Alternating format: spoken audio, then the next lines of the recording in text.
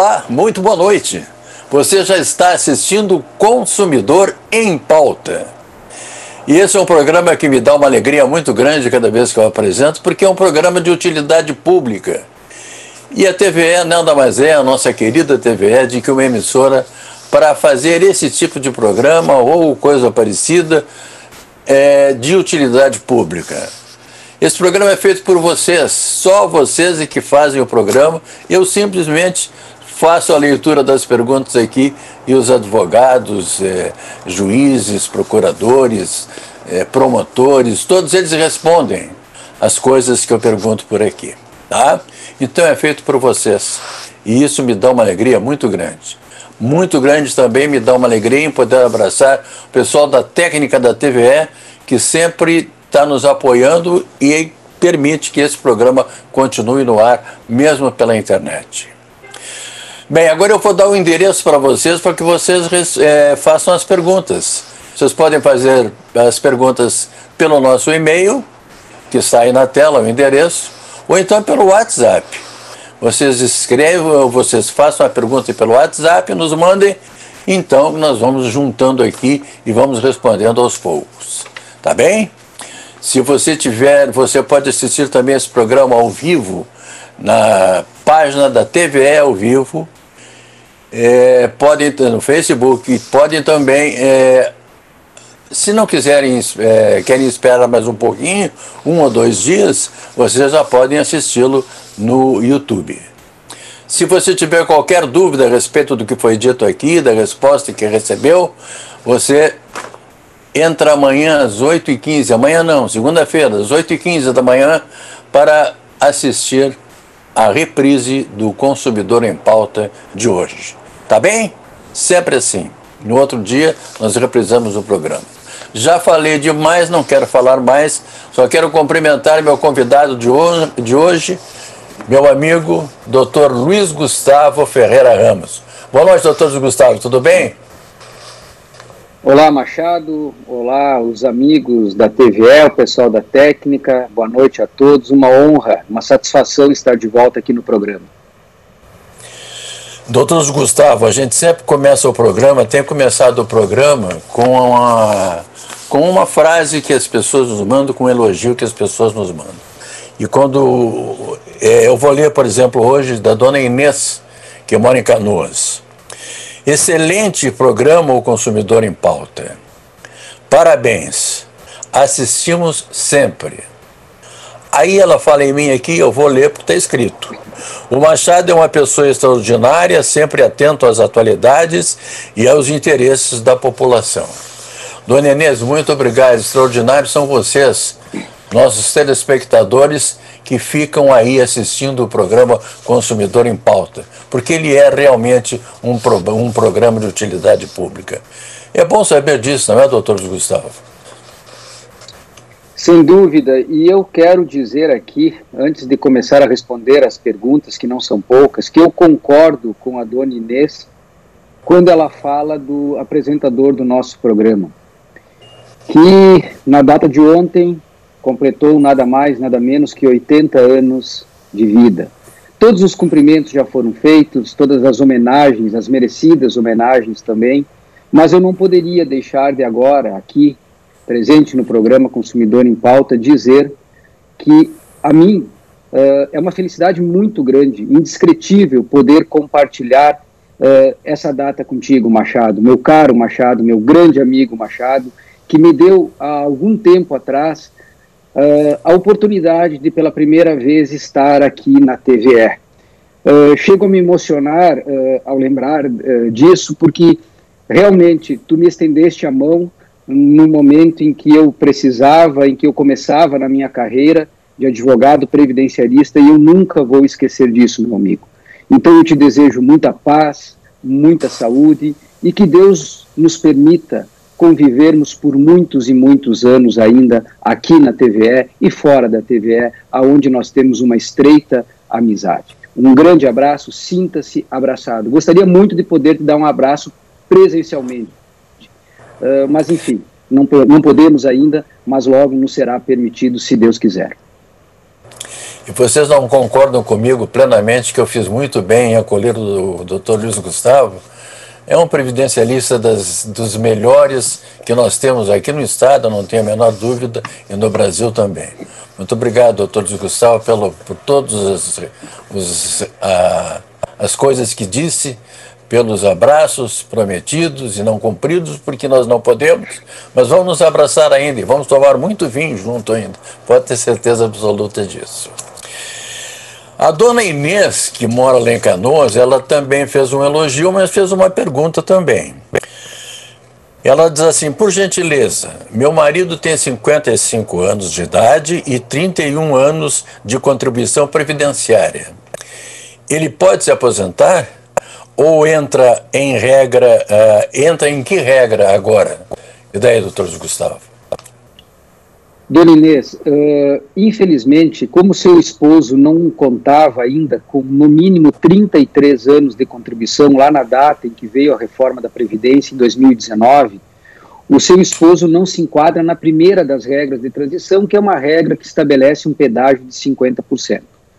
Uh, em função disso, analisando aqui a idade e o tempo de contribuição do seu esposo, eu poderia lhe dizer que, infelizmente, ele só vai poder se aposentar aos 63 anos de idade.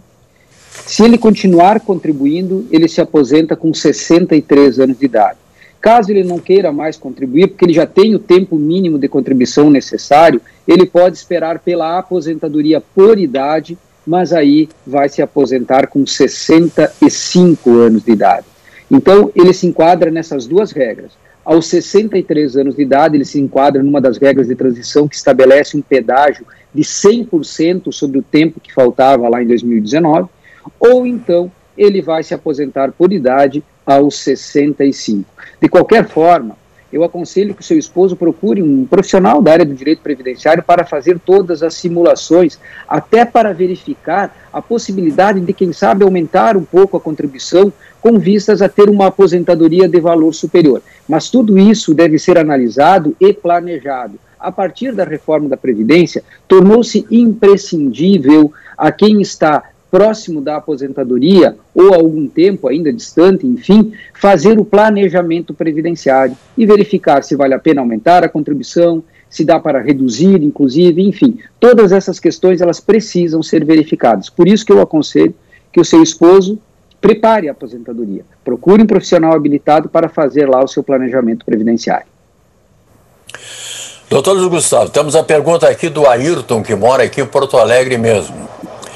Ele diz o seguinte: uma colega minha disse que depois da reforma da Previdência não é mais necessário pagar 20% ao INSS. Parece que pagando 11% tem os mesmos benefícios.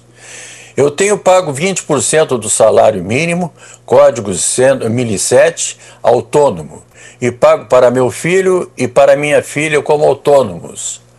Eu queria saber se posso é, fazer o pagamento, baixar o pagamento para 11% e ter os mesmos benefícios. Pode, doutor Gustavo? Seu Ayrton, o segurado que opta por, pra, por pagar no plano simplificado, que é assim que se chama essa contribuição de 11%, é um plano simplificado. O segurado pode efetuar o pagamento de, com uma alíquota de 11% sobre o valor do salário mínimo.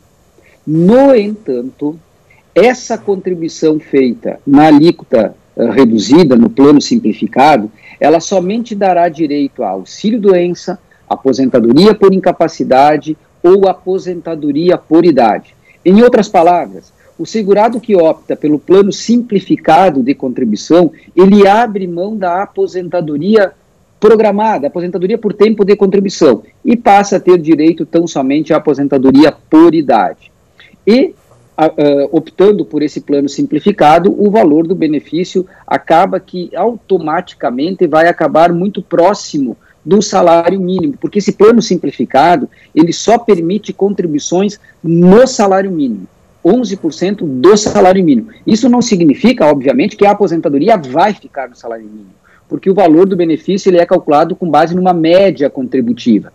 Mas é muito comum que aqueles segurados que optem ou que optam pela contribuição de 11%, tem o seu benefício depois lá fixado no valor do salário mínimo. Então, plano simplificado, 11% de alíquota sobre o salário mínimo dá direito a benefício por incapacidade e também a aposentadoria por idade. Não dá direito à aposentadoria por tempo de contribuição, hoje chamada de benefício programado. E as pessoas que pagam 20%, doutor Gustavo, existem contribuições de 20% também ou não? Existem, é, essa é a regra, né? O contribuinte individual, o autônomo, né, ele paga contribuições de 20% sobre um determinado valor que ele escolheram, sobre a sua renda, né? Uh, se a pessoa recebe lá R$ 1.500 por mês e for um autônomo, vai pagar 20% de R$ 1.500 e terá direito a todos os benefícios colocados à disposição pela Previdência. Agora, aquele segurado que opta pelo plano simplificado, ele pode pagar 11%. Mas ao pagar 11%, essas contribuições em 11% não serão computadas para fins de aposentadoria por tempo de contribuição, apenas aposentadoria por idade. E mais, existe também nesse plano simplificado a possibilidade de uma contribuição de 5% sobre o valor do salário mínimo. Mas essa contribuição é, é, é necessário muito cuidado, porque ela só se destina a pessoas de baixa renda que tenham como única atividade atividades do lar, que não tenham atividade remunerada. Essas pessoas, elas podem pagar contribuição de 5% sobre o salário mínimo e continuam com direito a benefício por incapacidade e aposentadoria por idade. Mas aí sim, essa contribuição de 5%, ela é destinada a um campo específico de pessoas, aquelas que não têm renda própria e que trabalhem no ambiente eh, da sua casa. Então, nós temos contribuições de 5%, nós temos contribuições de 11% e contribuições de 20%. 20% dá direito a todos os benefícios, 11% e 5% apenas aos benefícios por incapacidade e também à aposentadoria por idade. A próxima pergunta é de uma pessoa que não quis se identificar, mora em Novo Hamburgo e pergunta rápido e rasteiro, hein, doutor Gustavo, como se diz lá em São Gabriel. Pode alguém receber só 990 reais de aposentadoria? Pode, doutor Gustavo? Não pode, não pode. Não há benefícios pagos pelo regime geral de previdência social de valor inferior ao salário mínimo nem a pensão por morte pode ser de valor inferior ao salário mínimo, e muito menos a aposentadoria ou o auxílio doença. Existe um benefício pago pela Previdência que é o auxílio acidente. Ele é popularmente chamado de pecúlio. Esse benefício, que é o auxílio acidente, que é destinado àquelas pessoas que sofrem um acidente de qualquer natureza e acabam ficando com alguma limitação na sua capacidade de trabalho, essas pessoas elas têm direito a um benefício. Esse benefício é chamado auxílio acidente. Esse auxílio acidente, esse pode ser de valor inferior ao salário mínimo. No entanto, aposentadoria e pensão por morte não podem ser de valor inferior ao salário mínimo. Tem aqui a pergunta do senhor João, que mora nessa, aqui em Sarandi. Tá? Fechei os 35 anos agora em março e tenho 51 anos de idade. Após encaminhar os papéis para a aposentadoria, estou trabalhando e recebo em média R$ 2.200. Será que se me aposentar será mais ou menos o mesmo valor do benefício? E daí, doutor Gustavo? Seu João, eu obviamente, né, eu não consigo fazer a simulação do valor da aposentadoria dessa maneira aqui, né, uh, no programa. Mas eu posso lhe dizer uh, que se o senhor tem hoje 35 anos de contribuição, exatos 35 anos, talvez hoje o senhor não tenha condições de se aposentar ainda. O senhor pode se enquadrar numa regra de transição trazida pela reforma da Previdência que estabelece eh, que aquele segurado homem que tinha no mínimo 33 anos de contribuição lá em 2019, ele pode se aposentar hoje, desde que cumpra um pedágio de 50% sobre o tempo que faltava lá em 2019. Se hoje o senhor tem 35, lá na reforma da Previdência o senhor já tinha 33. Então, talvez o senhor tenha que trabalhar um pouquinho mais contribuir um pouquinho mais para ter direito à aposentadoria. Talvez com 35 anos e meio ou 36 o senhor se aposente. Até aí é a questão do requisito para a aposentadoria. No entanto, seu João, se o senhor se enquadrar nessa regra de transição, e eu acredito que é a única que o senhor se enquadra hoje, o valor da sua aposentadoria será calculado com a aplicação do fator previdenciário. E o fator previdenciário vai puxar a sua, a sua média contributiva para baixo.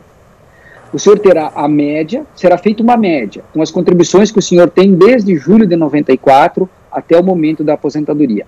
Vamos imaginar, vamos imaginar que a sua média contributiva, e eu pego a calculadora aqui, vamos imaginar que a sua média contributiva fique nesses R$ 2.200. Considerando que o senhor tem apenas 51 anos de idade, o seu fator previdenciário deve ficar em torno de 0,70. O valor da sua aposentadoria deve ficar em torno de R$ 1.500. Mas veja, isso é apenas uma simulação, ou como se diz lá em Gaurama, é uma conta feita, uma conta de padaria aqui no papel, né? Teria que se analisar exatamente, fazer a apuração da média para calcular, mas eu posso lhe garantir que, ao se enquadrar nessa regra de transição que o senhor se enquadra, o senhor não vai se aposentar recebendo o mesmo valor que recebe trabalhando. Vai haver uma redução. Por isso, procure um profissional da área para que o profissional faça o cálculo e lhe diga qual é o valor da aposentadoria, ou do valor que ficará a sua aposentadoria, para que assim o senhor possa decidir se o melhor é se aposentar hoje, continuar contribuindo com vista a uma aposentadoria melhor no futuro, enfim, para que o senhor tenha todos os cenários possíveis, tá bem? Mas é importante fazer esse cálculo antes de requerer a aposentadoria. Doutor Gustavo Ferreira Ramos, a gente vai fazer um pequeno intervalo, mas o intervalo aqui é bem pequeno mesmo, hein? É só o tempo de tomar um gole d'água. A gente vai e volta. O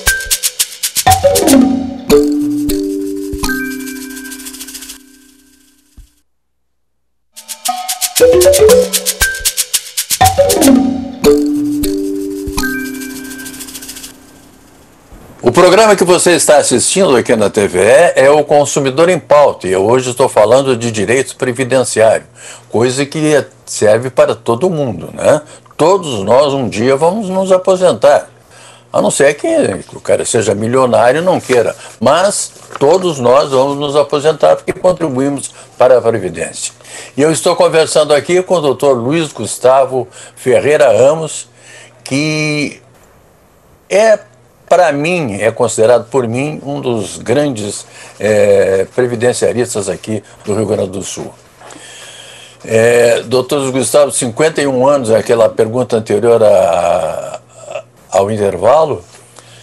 Pô, a pessoa tem 51 anos é uma pessoa extremamente moça ainda, pode trabalhar mais um pouco, contribuir mais um pouco, se aposentar melhor, não é? Sem dúvida. E é por isso que, e é por isso que eu sempre estimulo quem me procura para requerer uma aposentadoria a fazer todas as simulações possíveis, né, para verificar se realmente vale a pena encaminhar o benefício, o pedido de aposentadoria, no momento em que a pessoa implementou as condições. Porque é importante que as pessoas saibam que a aposentadoria é uma única vez. Depois que a pessoa se aposentar, ela pode continuar trabalhando depois da aposentadoria mais 20 ou 30 anos. No entanto, todas as contribuições que, foram, que forem pagas posteriormente à aposentadoria não poderão ser utilizadas para a revisão do benefício. Isso é o que se buscava através da desaposentação. Mas o STF já disse que não é possível. Então, eu brinco sempre com os meus clientes: aposentadoria é única, é uma vez só. Então, preste atenção, porque às vezes o cidadão ele é atendido e tem a aposentadoria concedida e o arrependimento vem depois. Porque o cidadão que está aposentado, recebendo uma aposentadoria por tempo de contribuição, por exemplo, e continua trabalhando, se ele ficar doente, se ele tiver que se afastar do trabalho, ele não vai ter direito a um auxílio doença, por exemplo, porque ele já está aposentado e não pode receber aposentadoria e auxílio doença juntos. Então, essa decisão de requerer ou não requerer a aposentadoria, quando ainda jovem, para fins de aposentadoria, por exemplo, 51 anos, é uma decisão muito importante, que deve ser avaliada sobre todos os aspectos, até mesmo imaginando o seguinte: bom, se eu não me aposentar agora e continuar trabalhando mais 5 ou 10 anos, quem sabe, Qual será o valor da minha aposentadoria no futuro? Será que não vale a pena eu investir nessa aposentadoria e me aposentar um pouco mais tarde? Hoje, a palavra de ordem é planejamento previdenciário. A pergunta do senhor Sérgio, que mora na cidade de Alvorada, é a seguinte. Primeiro, ele diz parabéns pelo programa. Muito obrigado, senhor Sérgio. Minha pergunta é: por que o INSS não aceita o PPP, perfil é, proficiográfico, né, previdenciário, é, pelo sindicato, feito pelo sindicato? Por que, doutor Gustavo?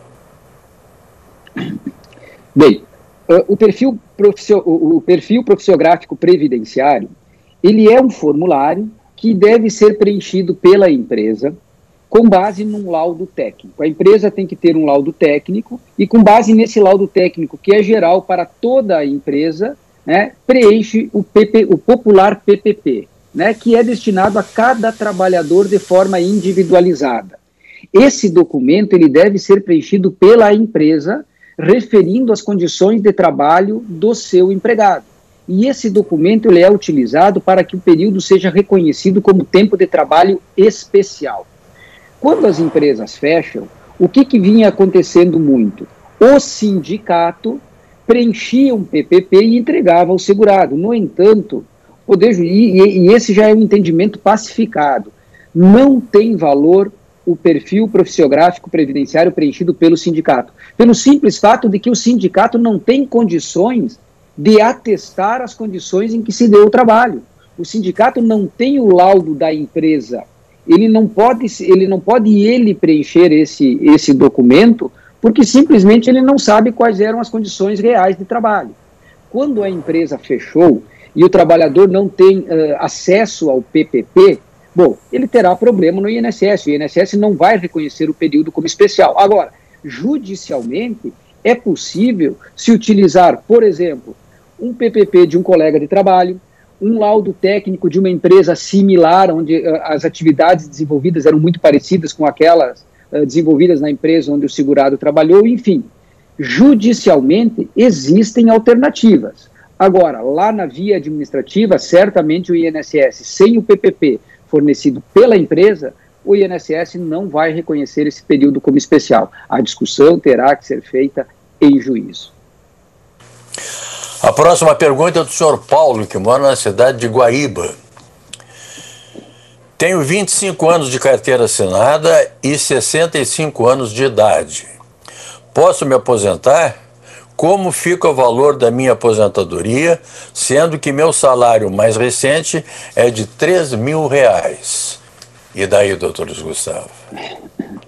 Bom, vamos lá. Primeira pergunta: posso me aposentar? Sim, pode. Já tem 65 anos de idade, tem mais de 15 anos de contribuição, pode se aposentar. Qual será o valor da aposentadoria? A aposentadoria, Paulo, ela vai ser calculada de acordo com uma média contributiva. O Doutor Gustavo teve um pequeno probleminha lá e nós vamos, é, em seguida, a equipe da, da nossa TVA já está tratando de, de... Por favor, doutor Gustavo, então, isso, continue.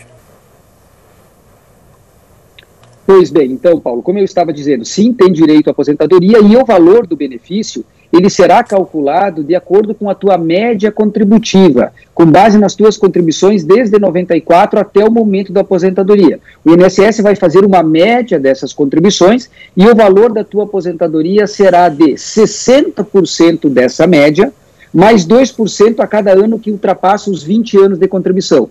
Como tu tens 25, o valor da tua aposentadoria será de 70% da média ok? Tu não vai te aposentar com 100%, uma vez que tu tem apenas 25 anos de contribuição. Insisto, como eu fiz nas outras, uh, nas outras respostas, como eu referi nas outras respostas, procure um profissional habilitado e faça cálculo, faça simulação e entenda quais são as possibilidades que o senhor tem antes de encaminhar a aposentadoria. Talvez aumentando um pouquinho a contribuição, o senhor tenha uma surpresa uh, muito interessante no valor do benefício. Vale a pena fazer a simulação. A pergunta é do senhor Gilberto, que mora em Esteio. E ele pergunta o seguinte: Se uma dona de casa que contribuiu com 11% durante 30 anos pode se aposentar por idade aos 62 anos? Pode, doutor Gustavo? Aqui uh, trata do mesmo assunto que nós tratamos ao responder uma pergunta anterior, a contribuição de 11%, plano simplificado. Lembram o que eu falei? Que quem paga a contribuição de 11% tem direito à aposentadoria por idade, que é exatamente o caso dessa dona de casa, uh, esse exemplo trazido pelo seu Gilberto. Se a dona de casa já tem 62 anos, ela tem idade suficiente para se aposentar e se contribuiu com 11% durante 30 anos, precisava só 15, contribuiu 30, já tem direito à aposentadoria por idade. Basta requerer junto ao INSS que essa aposentadoria provavelmente será deferida diretamente na via administrativa, não sendo sequer uh, necessário ajuizamento de ação judicial ou coisa parecida. Doutor Luiz Gustavo Ferreira Ramos, eu tive um prazer muito grande em conversar com o senhor aqui, como sempre, é, a semana que o senhor aparece aqui no programa é sempre uma semana de alegria, porque as respostas são sempre positivas. Tanto o senhor quanto o doutor Dirceu, que responde sobre direito previdenciário. Então, muito obrigado pela sua presença aqui. Volte sempre, nós estamos sempre, sempre de portas abertas aqui, esperando pelo senhor. Tá bom, doutor Gustavo? Eu Lembrando agradeço a, você... gentileza. Sim, sim. Eu é que agradeço a gentileza e mais uma vez agradeço a técnica da TVE que sempre nos auxilia e nos coloca no ar. Então, um abraço a todos e um bom final de semana. Lembrando a vocês que nesta segunda-feira eu estarei aqui para apresentar mais um Consumidor em Pauta e para falar de direito do consumidor. A todos vocês, muito obrigado, um bom final de semana e até lá.